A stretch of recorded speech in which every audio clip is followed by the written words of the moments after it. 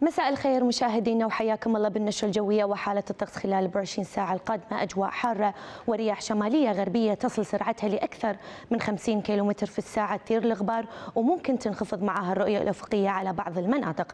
أما حاليا في مدينة الكويت في الرياح شمالية غربية سرعتها 10 كيلومتر في الساعة. درجة الحرارة الحالية 47 درجة مئوية. عفوا. والرطوبة النسبية 8% والرؤية الأفقية جيدة لأكثر من 10 كيلومتر.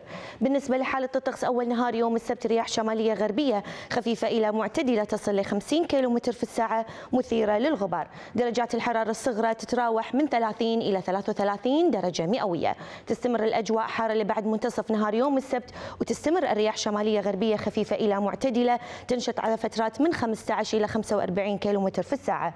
درجات الحرارة العظمى في المناطق الوسطى 48 درجة مئوية العبدلي 47 درجة مئوية الشقاية والسالمي 49 درجة مئوية. في المناطق الجنوبية الوفرة 47 درجة مئوية جزرنا الشمالية وربا وبوبيان وفيلتشا 44 درجة مئوية وجزرنا الجنوبية كبرقارو أم المرادم 43 درجة مئوية.